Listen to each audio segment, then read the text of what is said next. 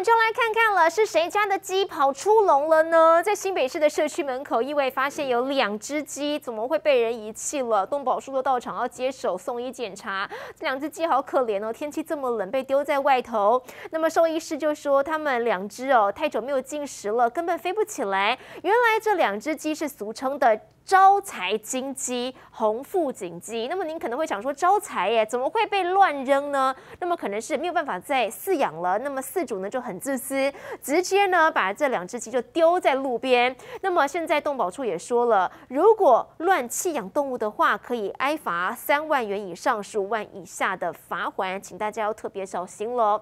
继续我们来看到的是，这个彰化园林施工所每年春节前都会请这个清洁队哦到园林国宅帮忙，大家来清运废弃的家具。以往这个国宅的住家都会把废弃的家具啊堆在人行道，方便清洁队来作业。没有想到今年呢，疑似有很多外来的民众。不是住这些社社区的哦，也把自己的家里的什么床垫啦、什么床罩啦、沙发等等，全部都扔在这个地方，扔在马路上，而且是绵延上百公尺，变成一个夸张乱象。而因为也堆了大量的家具，还有人特别来寻宝。沙发、椅子、床垫、婴儿床，废家具堆成山，连冰箱都有，绵延上百公尺。夸张的是，堆到马路上，甚至占用垃圾车停车格。清洁队员为了清除马路空间，狂扫狂丢，相当辛苦。废家具被弃置在彰化园林国宅前。每年春节前，市公所都会开放让国宅住户整理出家中不要的物品，请清洁队来帮忙清运。不过规定是要放在人行道上。今年废家具却爆量，引发乱象。国宅住户非常的规矩，他们都放在人行道上，可能外来的黑的黑的。园林的市民顺便把它丢在这里。除了乱象，还有你丢我捡的特殊现象。按摩椅啊，按摩椅哦，而且刚刚说这个也使要会使使用，要去登去用啊是安那？那用的就不用啦。就是沙发较济，啊，加些柜子较济。有会没？他不知道，他就是看得很漂亮，他就捡回去了。有民众相中大批废家具来寻宝，宛如在逛市集。堆成山的废家具，估计还要两三天才能清完。里长呼吁外来民众要丢也没关系，但千万不要丢到马路上，会造成通行上的危险。记者陈胜伟、韩志兴、王世涵、彰化采访报道。就在昨天凌晨两点多，在台北市松江路上，经报有这个当街斗殴事件，有四名女子在这个路边朝一名女子疯狂的围殴、痛殴她，甚至还拿出辣椒水来攻击。有人更可恶，拿出预藏好的电击棒在电人。被围剿的女子虽然有还手，但是寡不敌众，最后只能够惊恐逃窜。电流声音响不停，女子遭人拿电击棒大街上嚣张狂电，惊吓逃窜。不止这样，都是女生嘛，男生都没有介入。一群人还把女子打倒在地，四打一围殴，不止电击棒攻击，甚至还拿辣椒水狂喷。女子被辣水喷到倒地痛苦哀嚎，民警赶紧叫支援帮忙。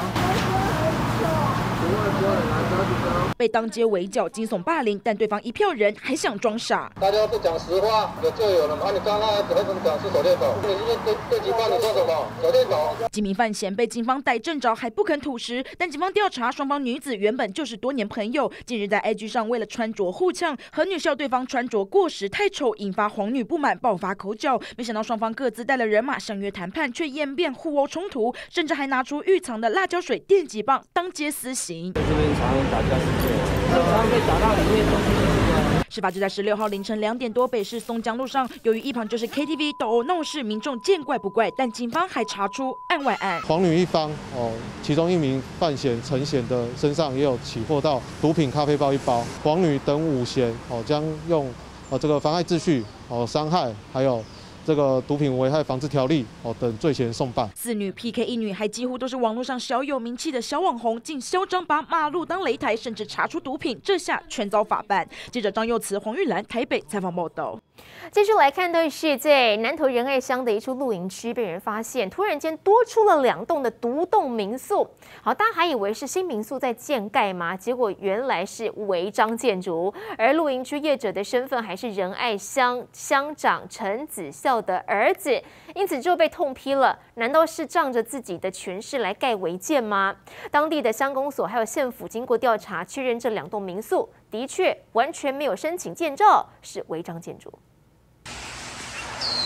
两栋三角屋矗立在南投仁爱乡的露营区里，远眺北港溪，架高设计宛如欧美房型。屋内有沙发、厨具，屋外有瓦斯和热水器，看起来已经有人入住，但现在被人揭穿，这疑似是违建。而露营区业者还是当地仁爱乡乡长的儿子，被质疑难不成是仗着权势盖违建吗？最近就有人在投诉我们，那当我们虚心接受，一栋屋是我是我们是给自己的亲友好友在来居住。露营区业者澄清说，他们是自家人入住在这两栋建筑中，不是拿来营业用。但即便如此，在盖房前应该要向相关单位申请建照。县府发现他们根本没申请。我们会请人代乡公所依规查报上来，哦，再通知涉及违建者，哦，依规定来申请补照。县府已经向业者开罚六万元，要求申请补照。乡长的儿子带头违法，这也难怪被放大检讨。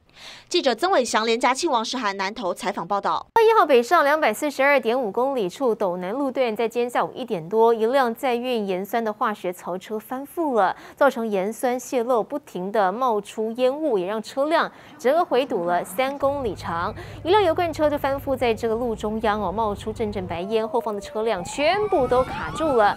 而国道警方获报，赶紧出动了这个拖吊车来排除，并且派水车到场，用水稀释的方式。来处理，所幸驾驶是轻伤，没有送医。而远警也紧急实施了车道管制，封锁北上的部分车道，只有开放路肩跟外车道通行，尽快消化车流。台中警方侦办这个犯罪组织来追捕一名共犯，追到了彰化大村。而这个警方趁着嫌犯在开车要逃的时候上前拦阻，没有想到这个嫌犯很可恶哦！一看到警方来了，立刻催友们要到车上撞警方，结果还真的把一名警察要撞倒在地了。而这名嫌犯迅速要开车逃走，员警们赶紧从这个车上把他给拖下来压制。警察，警察，便衣员警走到黑色轿车前，要开车的男子下车，没想到男子居然催油门倒退，把一名员警甩落在地。钥匙，钥匙，钥匙，钥匙，钥匙，先把钥匙，钥匙。男子还想往前开走，另一名远警手紧抓着方向盘不让他开，脚同时还得不停踩地刹车，就怕也被击落。其他远警则赶紧以侦防车挡住男子动线，场面混乱。啊！我冷车，你好，你好，你叫我们家有机票吗？机票，去拿手套，票。男子最后被拽下车，压制在地。远警手铐脚镣全上，顺利将他制服。他是天道盟分会犯罪组织的成员之一，其中十六人早在这个月五日就被抓，就他一人多逃十一天，造成我们一名小队长，还有一个侦查组手部有一个受伤。嫌犯从台中逃到彰化，再怎么会逃，再怎么抗拒，最后还是被捕，被一组织犯罪防治条例及妨碍公务罪送办。记者韩志新王世涵台中采访报道。花莲寿丰乡在十六号下午发生死亡车祸，一名八十四岁的老先生独自开车要上山扫墓，结果下车的时候心脏病发，不小心撞到电线杆，当场没了呼吸心跳，紧急送医，还是宣告不治。救护车紧急驶进山间弯道，前方两人蹲在地上，正在为一名老翁实施 CPR。几名民众围在一旁，神色紧张。眼见老翁命在旦夕，警消跟时间赛跑，将老翁抬上担架，紧急送医抢救。一名男性患者，八十四岁，啊，现场无呼吸、无心跳，抢救后送。慈济医院。这起行车事故发生在花莲寿丰乡池南路五段。十六号下午，八十四岁的谢姓老翁独自开车到山上扫墓，扫完墓后沿着产业道路下山，疑似心脏病发，在过弯时失控自撞路边电线杆。修理车车头引擎盖凸起，保险杆被撞凹，老翁当场没了呼吸心跳，送医抢救仍宣告不治。高龄驾驶行车事故多，民众还是要多加留意身边的长辈，最好有人陪同上路，避免类似意外再发生。记者刘启娇、林一文花莲报道。但是，新大警方在追查一名通缉犯，身上背了四条的通缉罪，还是个大要头，就出动霹雳小组，荷枪实弹要破门攻坚。而这老兄也真是的，实在夸张。他被抓的时候还在床上呼呼大睡。霹雳小组出动，锁定这间套房，嘣的一声破门攻坚，大喊不要动，赶紧压制嫌犯。检查，救不要救，别救，别救，别救，救警方进门，嫌犯傻眼，原本还躺在床上呼呼大睡，落网被抓还想逃，远警反应超快，用盾牌压制。眼前这名男子身上背了四条通气，家里藏有市价六百六十万的毒品，逃亡期间还敢黑吃黑，继续贩毒。通气没有错了啊，在南台湾各地贩毒牟利啊，并且拥枪自重，全案将解送高雄地方警察署归案。四十三岁大药头狼被落网，毒品、手枪全被远警查扣，身上背了四条通缉，还敢继续贩毒。警方布线埋伏多时，终于把人逮捕归案。记者赖冠章、林义荣谈谈报道。社会消息是，昨天下午在台东金峰乡发生一起非常严重的火灾。消防人员灭火之后，在现场发现一具年约三十岁的男性焦尸，起火原因还在厘清。另外，在今天凌晨五点多，在桃园大关路也发生火灾，一栋平房突然起火燃烧，屋内的八十多岁的老夫妻双双丧命。草地旁的白色平房被烧得焦黑，门窗毁损变形，洗衣机的外壳也被大火烧到凹了一个大洞，地面上满是大火吞噬后的灰烬。住在里面八十七岁的爷爷和八十三岁的奶奶受困火场，消防人员发现时已经成了焦尸，明显死亡，家属难掩悲痛。五点我才接到通知啊，今仔我透早嘛要等下再看医生，我妈行动无方便，爸爸足健康。十七号凌晨五点十五分，桃园大园区大关路一百五十一巷这栋平房突然起火燃烧，消防队获报后立即派出九辆消防车、两辆救护车和二十六名人员到场灌救，并在二十分钟左右控制火势。在场火处理的时候，发现现场有两名罹难者，那皆已经明显死亡。整起火灾燃烧面积约十平方公尺，详细的起火原因目前还在厘清。另外，十六号下午六点左右，在台东金峰乡立秋村也发生一起火灾，消防队总共出动九辆消防车、二十一名人员到场关救。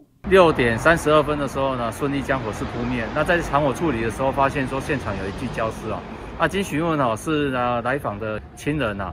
这具焦尸是一名年约三十岁的男性，整起火灾的燃烧面积约三十平，起火的原因目前还在理清当中。